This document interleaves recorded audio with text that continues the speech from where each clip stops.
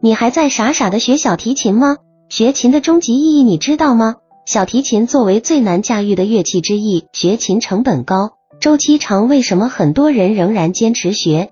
学琴的意义何在？学习小提琴的意义已得到多项权威科研和教育专家的认定，相关研究和统计数据支持其益处。以下是一些关键点和研究成果：一、认知发展研究表明，学习乐器，包括小提琴。可以提升儿童的认知能力。例如，一项由宾夕法尼亚大学进行的研究发现，学习乐器的儿童在数学、语言能力和空间推理能力方面表现更佳。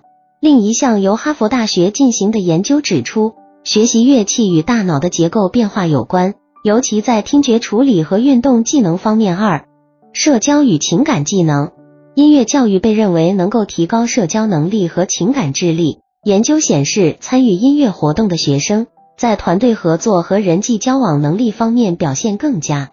美国心理学协会的一项调查表明，参与音乐学习的青少年在自尊心和情绪管理方面得到了显著提升。三、学业表现。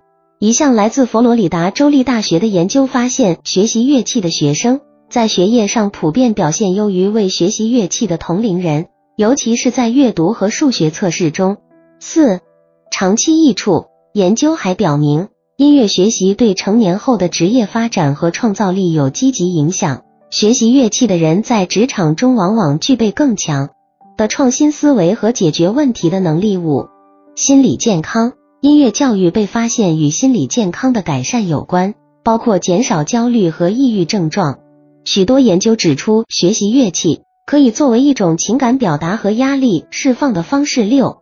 权威机构的认可，美国国家艺术教育协会 （NAFME） 和其他教育机构已将音乐教育列为全面教育的重要组成部分，强调其对学生全面发展的价值。结论：学习小提琴不仅仅是掌握一项技能，更是个人综合素质的提升。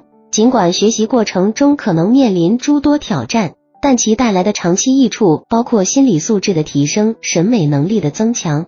社交能力的培养等都是非常宝贵的。在 AI 高速发展的背景下，学习小提琴等艺术类技能可以帮助青少年培养独特的创造力和人际交往能力，这些是 AI 无法完全取代的软技能。音乐教育能够激发创新思维，培养跨学科的综合能力，帮助青少年更好的适应未来的多变环境。